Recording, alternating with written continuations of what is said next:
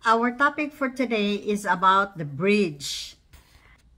It is called the Ravenel Bridge. It is located in between the towns of Charleston and Mount Pleasant. This bridge is memorable. We have a lot of memories in this bridge because in this bridge, it, uh, it is where the 10K marathon is held every April. And we've been joining this marathon many, many years ago.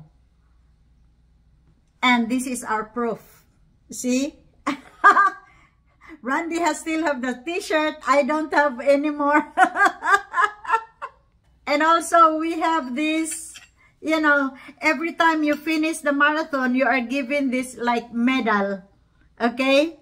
So, we finish, once we finish the marathon, we will go and they're gonna give us this medal. So, these are proofs, proofs that we really joined this 10K marathon long time ago. Not really long time, about five years, six years ago. And it is held in this Ravenel Bridge. So this is our topic for today. Please continue watch because I'm gonna share you some of the information that I first hand get when I went there. Okay? But please subscribe to my channel and invite your friends to come with you and watch the video.